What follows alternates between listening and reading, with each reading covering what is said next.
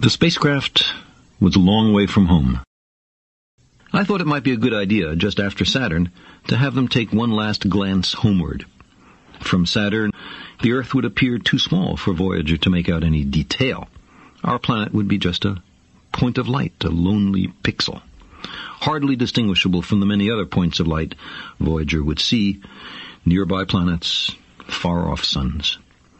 But precisely because of the obscurity of our world thus revealed, such a picture might be worth having.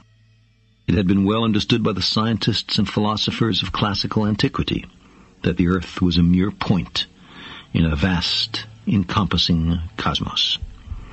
But no one had ever seen it as such. Here was our first chance, and perhaps also our last, for decades to come.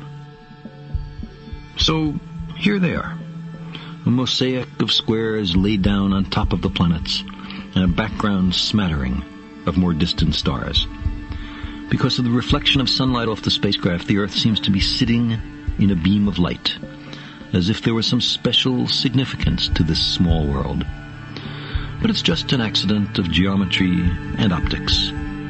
There is no sign of humans in this picture. Not our reworking of the Earth's surface, not our machines, not ourselves. From this vantage point, our obsession with nationalism is nowhere in evidence. We are too small.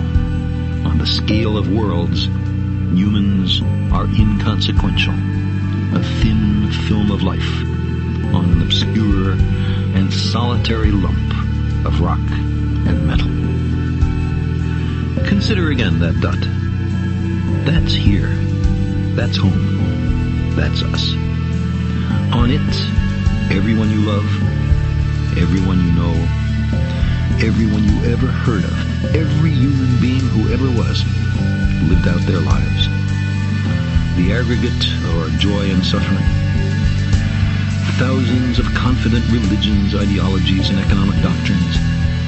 Every hunter and forager, every hero and coward, every creator and destroyer of civilization.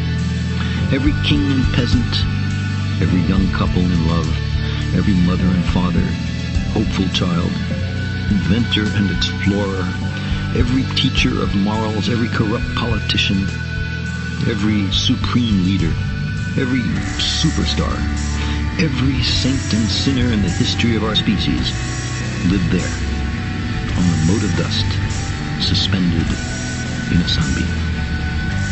The earth is a very small stage in a vast cosmic arena.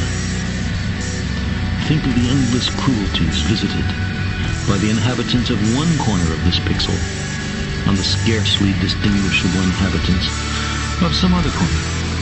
How frequent their misunderstandings. How eager they are to kill one another. How fervent their hatreds. Think of the rivers of blood spilled by all those generals and emperors, so that in glory and triumph they could become the momentary masters of a fraction of a dot. Our posturings, our imagined self-importance, the delusion that we have some privileged position in the universe, are challenged by this point of pale light. Our planet is a lonely speck in the great enveloping cosmic dark. In our obscurity, in all this vastness, there is no hint that help will come from elsewhere to save us from ourselves. Like it or not, for the moment, the earth is where we make our stand.